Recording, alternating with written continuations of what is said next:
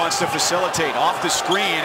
Had Brown inside on the roll. Instead, it's Toney wide on the three, tip up and out. I think this is an advantage playing early because he typically plays a lot of guys anyway. Toney's southpaw fling is off the mark from three. Still Florida State by two.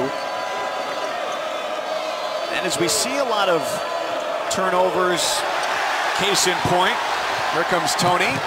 He rises and misses the dunk. In physical play that the officials are told to look for and to remove from the game. Fade away by Toney.